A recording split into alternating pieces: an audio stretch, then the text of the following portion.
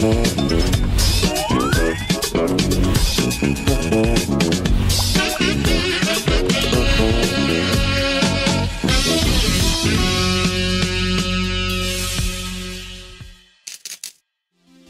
Здравствуйте, дорогие друзья! В эфире телеканал ЮТВ «Супер Афиша». Программка, которую принесли вам прямо домой, еще до похода на спектакль или на концерт, чтобы вы точно знали, на что потратить свое свободное время на этой неделе со вторника по пятницу. И сегодня в выпуске спектакли в разнообразных жанрах, художественное чтение и панк-рок а также эльфийская музыка и две наших рубрики «Бесплатная Уфа» и «Киноафиша». И в студии профессор в области развлечений до 35 лет Сергей Бархатов. И самый рассудительный участник нашей команды, э, спокойный, как английский лорд, и зажигательный, как песни группы «Коллекция дней» Артем Войтюк. Сегодня мы находимся в гостях в Доме актера, где расположился театр «Сад» на Пушкина. И во вторник они покажут не то чтобы спектакль по произведению Александра Куприна «Яма». Знаю, что многие найдут эту повесть безнравственной и неприличной, тем не менее от всего сердца посвящаю ее матерям и юношеству. Такой эпиграф дает читателям сам Куприн.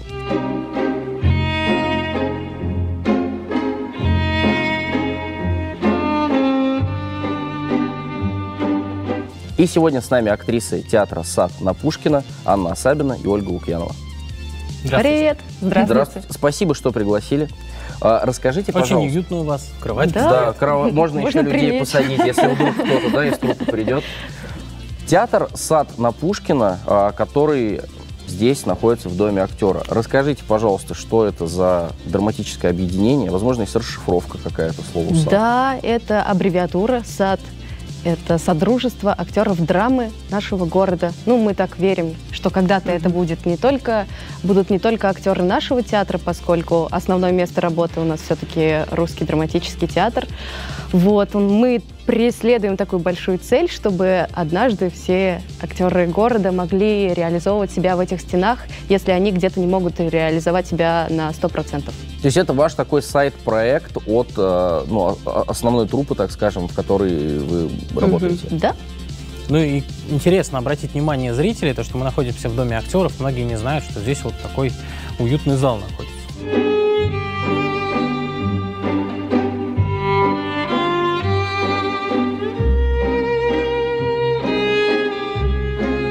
Здесь, собственно, ну, вот прямо на этой сцене как раз-таки и будет не то, чтобы спектакль. Угу, все верно. Почему формат Почему, так почему не называется? то, чтобы? Да. Ну, не то, чтобы спектакль. То есть э, зритель, а, придя в наш зал, он а, увидит спектакль не совсем классической формы. А, то есть а, мы вместе со зрителем открываем книгу, начинаем читать и начинаем исследовать ту историю, которую нам предлагает Александр Куприн. И то есть мы сразу вместе со зрителем впрыгиваем в эти образы, а, тут же отстраняемся от этих образов, а, а, говоря со сцены как актриса, как актриса Аня или как актриса Оля, а, разговаривая со зрителем. И здесь много импровизации, в общем-то, да, это такой э, не совсем стандартный традиционный спектакль да. в понимании зрителей. Это а, синтез с чтением получается? Там все, там и прям разговор вот такой по душам, угу, угу. и песни, прекрасные песни. Это, как сказала одна московская критикесса о песнях Насти Мордвиновой, она сказала, что эти песни влились также э, в яму песни Насти Мордвиновой, как и как это про шмеля песня «Мохнатый шмель» в, э, в «Жестокий романс», да. Ага. Казалось бы, вот в такую историю, ну, то есть Песни достаточно современные, угу. э, достаточно классическое произведение, э, и в таком неклассическом прочтении очень они взаимодополняют друг друга.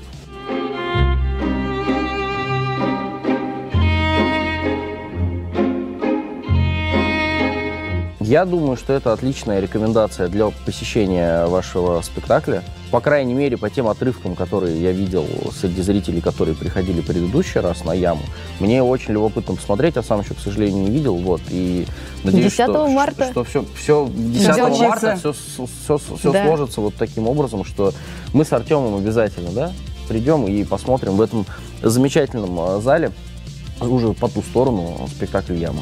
«Яма» 10 марта в Доме актера, начало в 19.00, билеты от 350 до 700 рублей. Ну и продолжая тему спектаклей, в среду э, в кинотеатре «Киномакс» можно будет посмотреть моноспектакль а, под названием «Дрянь». Такое интересное название. Фиби Уоллер-Бридж. А, да. Новейшая британская звезда. Это английская актриса. Все началось э, с 10-минутной э, репризы какой-то небольшой, которую попросили сделать на одном из дней рождения, насколько я знаю. И все это переросло дальше в сериал. Уже два Сериал. сезона сериала под названием «Дрянь». Это, собственно, прозвище этой актрисы э, в юности, насколько я понял.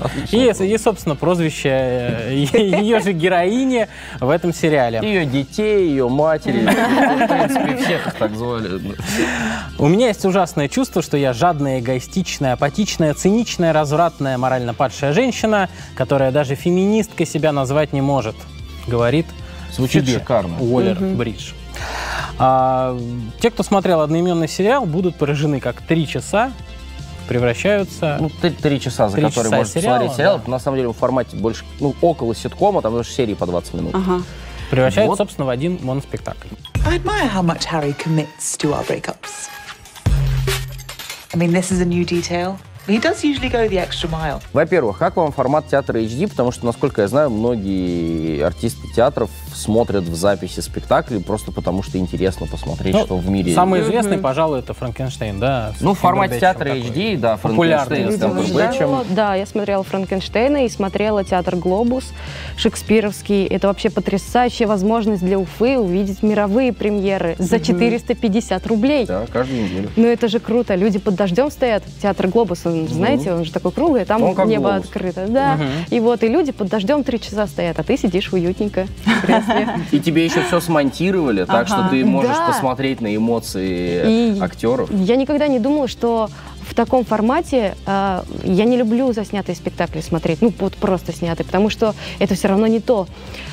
Но театр HD это такой монтаж, что да, ты видишь э, и общий план, и ты крупный план наблюдаешь. И я рыдала, честно. Я и смеялась, и рыдала. Это то, что зачем мы идем, мне кажется, в театр. Формат э, моноспектакля женщина, которая рассказывает о своей жизни, о своих проблемах. Вот? Мгм. Ну, мне кажется, моноспектакль — это вообще, в принципе, это один из сложнейших жанров. И мне кажется, это и очень интересный жанр, потому что один исполнитель, и, насколько я знаю, там из декораций один стул. Ну, при- чаще всего, И это нужно быть настолько настоящим, настолько правдивым, чтобы быть интересным зрителю и держать во внимании зал. Столько времени, да. Мне кажется, это ну, Это высший Ну, пилотаж. мне, Да, мне это кажется, высший мон- пилотаж. моноспектакль часто это сочетание такое стендапа, что ли, когда про себя, да, и театра. То есть что, что-то на грани, потому что актер все равно он э, проживает себя в данный момент.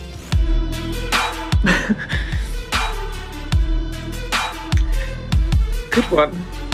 Моноспектакль в HD под названием «Дрянь». 11 марта, 19.00, кинотеатр «Киномакс». Билеты 450 рублей. В пятницу 13 частенько последние месяцы у нас пятница 13 выпадает. Ну и не беда. Потому Ну, что високосный, Високосный год. год, да. Но Да. мы еще не живем рядом с озером, откуда может вылезти человек в хоккейной маске в честь пятницы 13 поэтому нам с вами бояться нечего. Вот. В общем, в Башкирской филармонии в рамках проекта «Поговорим» Николай Рихтер, замечательный артист, э, вновь, ну, второй уже раз как минимум, будет читать э, одну из самых мистических историй Николая Васильевича Гоголя, которая называется «Вий». Все это в сопровождении ударных, органа, небольшой видеоинсталляции, там буквально свечи или какая-то там нарисованная церквушка. Вот. В общем, прочитает Вия целиком. Яростно ударили ворота и закричали. «Отвори! Отвори!» Как вам э, вот такой формат мероприятия? Потому что мало достаточно, что выходят вот в этом цикле «Поговорим», там какие-то читанные пока произведения, вот, но могу сказать, что это получается органный зал филармонии, он полный набирается. Вряд ли, мне кажется, можно найти такого зрителя, который не читал бы Ви, не смотрел бы легендарный этот фильм. И мало того, что это гениальный текст, который просто был бы приятно послушать, а еще и если это делает Коля, Коля потрясающий артист. Бабуся! Бабуся! Ты, ты, ты, ты что, бабуся? Ступай себе с Богом! Закричал он. Но старуха не говорила ни слова и хватала его руками. Вот про него всегда говорят, что он хороший рассказчик. Вот в чем у него магнетизм какой-то природный, или он просто интересно рассказывает. Вот вы бы, как люди, которые с ним э, работают, как, как, как это для себя описали? Мне кажется, у него еще какая-то потрясающая энергетика у Да, Коли. он как-то заражает тебя. Да. Ты иногда даже стоишь, готовишься к чему-то серьезному, э, ну, перед выходом на сцену, а Коля подходит, там, начинает с тобой шутить, и ты, и вроде бы надо готовиться, а он так интересно рассказывает, и ты вот отвлекаешься. Ругаешься на него и отвлекаешься. Она идет прямо, прямо к нему. В страхе очертила он около себя круг. Артем, что? Слушай, а что можно возразить на так- такую фразу? Да я сам Ви завтра сяду, прочитаю, собственно говоря, и никуда не пойду. Ну, во-первых, когда вы сами сядете и прочитаете, это будет без живой музыки, без органа, без ударных Да. А, инструментов. во- а во-вторых, кто вы такой? Кто такой? Да, кто такой Коля Рихтер? Это шутка. Ну, конечно. Вот. Ну, смотри, тут совершенно же как бы по-другому мозг воспринимает информацию, Ну. нежели самостоятельное чтение. И все равно ты сидишь, по-своему это представляешь. Это же Хорошо. атмосфера, это, это что-то особенное. Это как, ну, я не знаю, говорят, что самый лучший кинотеатр это, конечно, у тебя в голове, когда ты читаешь книгу, но э, когда э, вот это все добавляется э, музыка, Мгм. свет особенный, это же такая атмосфера, ну, Таинство какого-то. таинство, да, это что-то такое очень, которое происходит здесь и сейчас. Наконец остановилась, погрозив пальцем, и легла в свой гроб. Страшная сказка для взрослых. 13 марта, Башкирская филармония, начало в 19.00, билеты от 200 до 600 рублей. А в пятницу э, театр в гриме де Буфо приглашает всех в арт-квадрат на романтическую комедию под названием True Love. Как относитесь к буфонаде?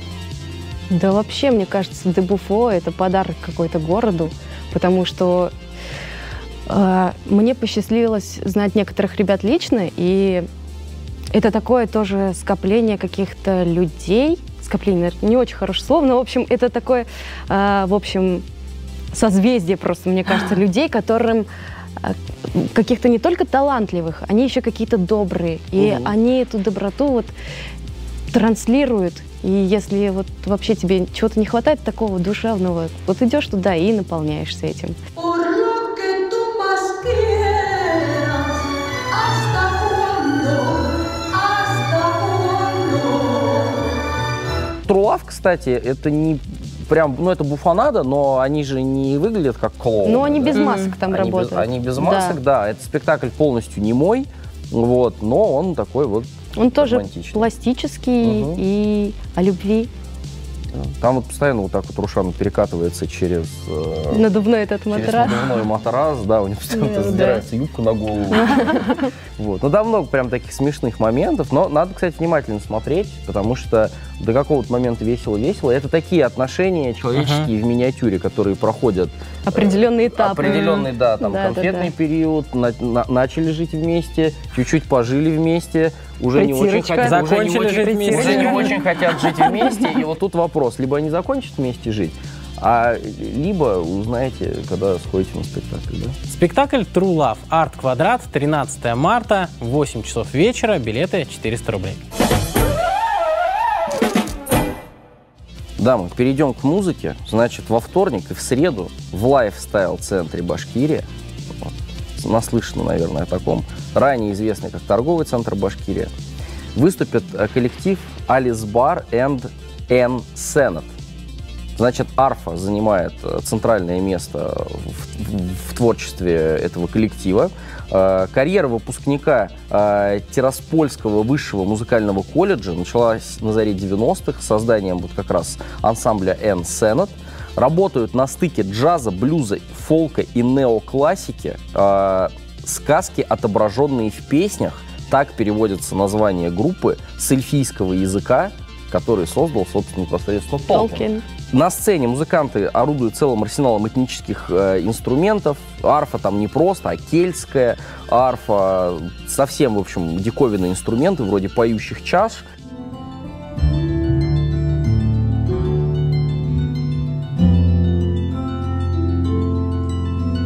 Что важно, будет два концерта. Во вторник э, концерт «Так звучит любовь», ну, вроде как для взрослых, да, и в среду семейный концерт «Арфотерапия» для детей и родителей. Вот так. Как вам э, эльфийская музыка с кельтской арфой и еще и в двух форматах, для взрослых и для детей? Я обожаю. Мне А тоже арфу кажется, или это- эльфийскую музыку? Вообще всю эту тему, не знаю, Толкина и ну, Арфу. арфа. Мгм. Ну, вообще, эта музыка, фолк, мне очень близка, например.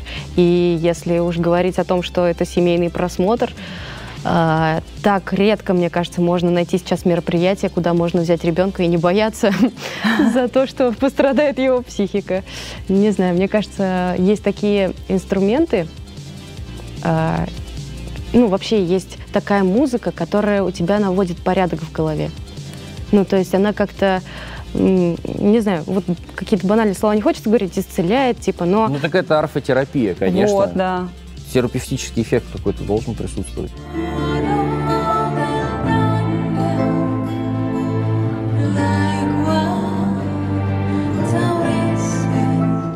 Я бы с удовольствием пошла, мне кажется, я пойду даже. Ну, кстати, терапевтический концерт дешевле, чем вот тот, который так звучит любовь. Так что всем на заметку. концерт вообще стоит дешевле, чем поход к психотерапевту, так я вам скажу. Так что, да, всем на заметочку. Да, все туда. Алис Бар и Эн Сенат. Э, Лайфстайл-центр Башкирия. 10 марта концерт «Так звучит любовь». В 19.00 билеты от 900 до 2000 рублей. И 11 марта семейный концерт «Арфотерапия для деток и родителей». Начало в 18.30. Билеты от 550 до 800 рублей. Ну и продолжая музыкальную тему, в Башкирской филармонии в четверг э, выступит э, трубач и вокалист Рональд Бейкер, приедет он из Соединенных Штатов Америки. И выступит он, собственно, с биг-бендом э, Башкирской государственной филармонии под управлением Олег Олега Касимова. Э, Да, собственно, это джаз, блюз, и многие его поклонники говорят, что он очень э, эффектно эти два стиля э, смешивает, сочетает э, и, собственно, передает все эмоции этих двух стилей.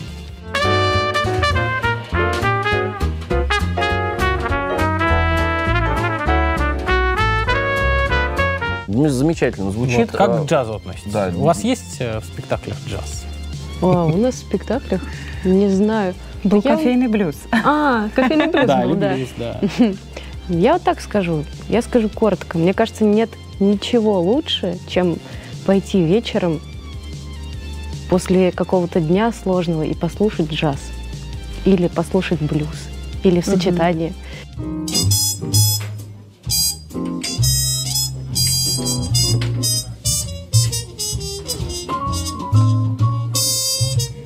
Перед передачей думал, честно говоря, что ну, как можно не любить джаз? Он настолько разный. То есть э, он и в сторону блюза, да, немножко грустный, может быть, э, спокойный, тихий, а может быть интересный, не знаю, вы ближе к рок-н-роллу, да, из которого, как считается, собственно, рок-н-ролл и получился. То есть это настолько разнообразная музыка, что невозможно сказать, там, я не люблю джаз, можно сказать. Я не люблю эту композицию, но люблю Мгм. эту. Мгм. Бывает время у вас послушать джаз иной раз? Или настроение хотя бы? Я как-то ходила в джаз-клуб только один раз. Тоже по работе как-то Да. там была в джаз-клубе и вот Ну, так или иначе, сейчас послушать. а, вот прям а, американские джазмены и еще из каких-то стран, э, где этот жанр, так скажем, Зарождался. зара- за- ну, зарождался или развивался хотя бы, Да. они все равно не так часто приезжают, ну, как многие зарубежные артисты, потому что у них все-таки гонорар, наверное, в валюте их страны, вот. Ну, поэтому такие сейчас мероприятия, они гораздо реже проходят, вот, и сходить, собственно говоря, на, Не упустить эту на американского трубача.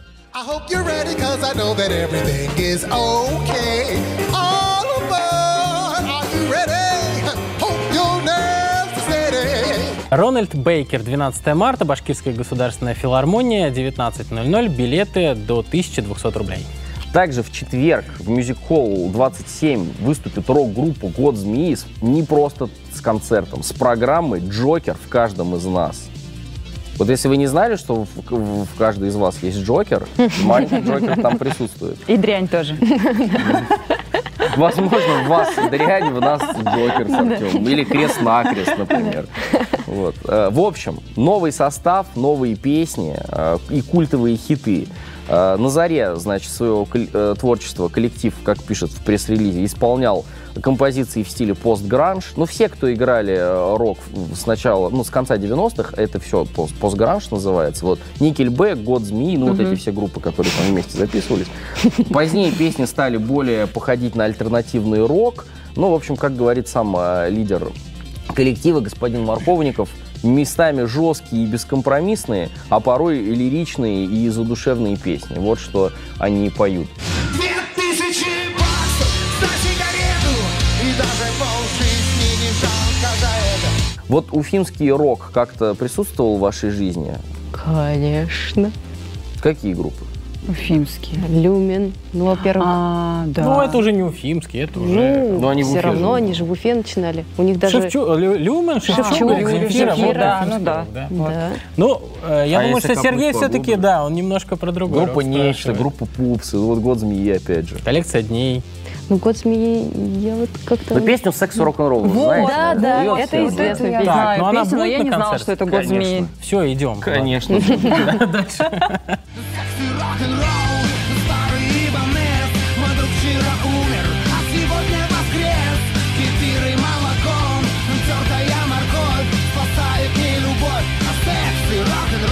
Год змеи 12 марта в Music Hall 27, начало в 20.00, билеты 700 рублей. Так, ну и продолжаем мою тему любимую. Да, моя любимая тема это рэперы и панк-рокеры, конечно же.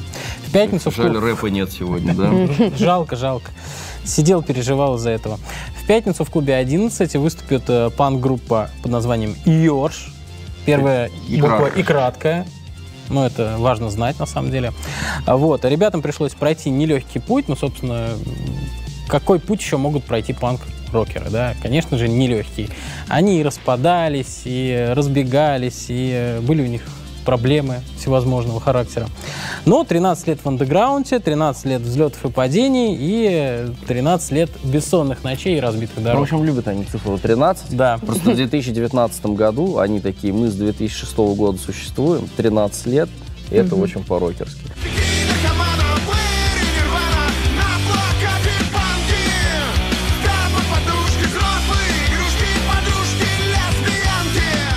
Кстати, как человек, который любит, например, э, Король и Шут и так далее, вот знакома тебе группа Йорш была до Ёрш. сегодняшнего дня? Ёрш. Нет, я знала, что есть такой напиток. Они тоже, Они тоже знали.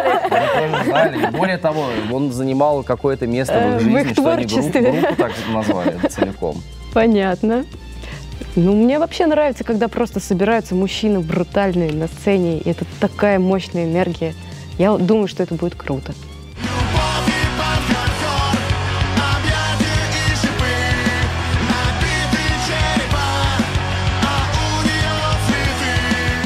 Ну, группа Йорш играет такой на стыке альтернативы. Что в нулевых было популярно? Альтернатива, там, Аматори, там, Дженер и так далее. Вот они, они как бы панки, но они звучат примерно так же. У них там есть какие-то совместки даже с группой Слот. Ну, то есть они, ну, объективно, из сцены вот этой середины нулевых, рок-сцены, альтернативной сцены, они как бы группа второго эшелона, которая, в принципе, еще достаточно молодая, вот, ну, и ездит, гастролирует по небольшим залам. Ну и клуб Дает 11, концерты. кстати говоря, мне кажется, самый панковский такой.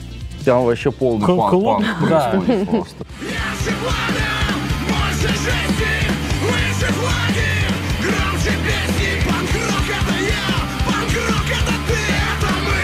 Группа Ёж, 13 марта, клуб 11, э, 19.00, билеты 700 рублей. Ну а сейчас наша рубрика «Бесплатная Уфа» — это те мероприятия, куда можно сходить бесплатно за 0 рублей. Ха, логично. В интерактивном музее «Интеллектус» проходит выставка «Живая цифра». Показать, что математика наука не просто серьезная, но и захватывающая — это главная цель этой выставки, этого мероприятия. Что там представлено? А, разработаны и произведены 14 Уникальных экспонатов? экспонатов, да. Э, Там, в общем, э, ра- разные математические, так скажем, головоломки в, в- в большом формате, ко- которые можно там пособирать, поразбирать. В галерее «Арт Эксперт» проходит выставка живописи Алексея Петрикова «В краю лесов и гор». Ну, Звучит соответственно, даже достаточно. Соответственно, пейзажи, написанные в разных уголках Башкортостана. Разные времена года, реалистичные картины, пейзажи. Где это, где это, где это? Э, Галерея находится на перекрестке Мингажева и Кирова. По-моему, Артем Кирова там просто живет 52. поблизости, Кирова вообще все 52, выставки да. смотрел в арт-эксперте. Конечно, я ч- через них хожу на работу просто, через эти Ну, выставки. и правильно, ты поэтому очень Да, ну и человек. выставка будет до 13 марта, можно сходить. И в среду в концертном зале имени Шаляпина пройдет э, концерт под названием «Музыка Германии». А в рамках проекта «100 лет, 100 народов, 100 песен». Начало в можно продолжить 19.00. еще, Да, да. со 100 100 зрителей. 100 зрителей, 100 мест, 100 билетов, 100 рублей. Ну, А нет, это бесплатный Уфа, 0 рублей. Все. Это в студ- Шаляпинском студенты зале. и, да, и Мгм. преподаватели вот в Шаляпинском зале, пожалуйста, музыка Германии. Если кто-то хочет свою музыкальную географию расширить, пожалуйста. И в завершении выпуска киноафиша смотрите на экранах города. Новый мультфильм от студии Pixar, который называется «Вперед», в оригинале «Onward», про фэнтезийный мир, э, где нет никакого волшебства. То есть эльфы, единороги, орки и гоблины живут в обычной бытовухе, вот как мы с вами. Э, Не летают там, значит, на метелках, ездят на машине. Вот, у них повышаются цены на бензин и так далее. Все честно и без прикрас. Давным-давно мир был полон чудес. То были времена приключений и волшебства. Но освоить магию было нелегко. И мир стал искать более простые средства. Но я надеюсь, что волшебство еще живет. В вас. Новая версия классического сюжета о Человеке-невидимке, потому что это студия Universal, которые делали еще невидимку по Герберту Уэллсу давным-давным-давно.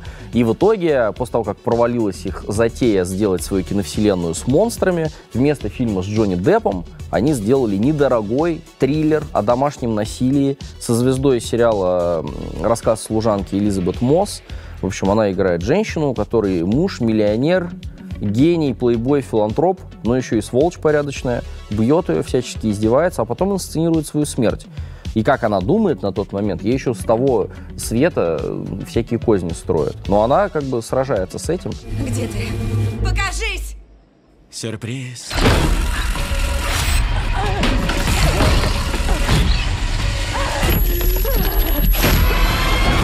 Комедия с самым кассовым российским актером сейчас, который этнический серб Милош Бикович, вот после фильма «Холоп» стал суперзвездой, с ним выходит фильм «Отель Белград».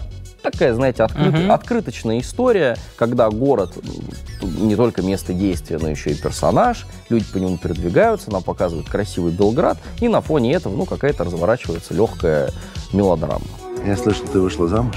Посмотри, пожалуйста. Ну и как семейная жизнь? А ты уже женился? Нет? Сестра моя, Поцеловала она тебя не как сестра. в Сербии так принято. Э, чао. О, Спасибо большое, что пригласили сегодня к вам, что рассказали про ваш театр. Вот, это очень ценно, то, что вы хотите сделать объединение самых разных артистов нашего города. Вот, и очень интересно будет посмотреть, какие у вас еще будут премьеры в этом году. Ну и, конечно, сходить на яму. Обязательно зовите Спасибо. нас. Спасибо, вас очень уютно. Спасибо, что Спасибо пришли. вам. Ждем вас на спектаклях. Дорогие друзья, если у вас есть информация о ближайших мероприятиях, то пишите нам на номер 8 987 046 54 54. И если оно окажется действительно интересным, то мы обязательно расскажем о нем в передаче «Суперафиша».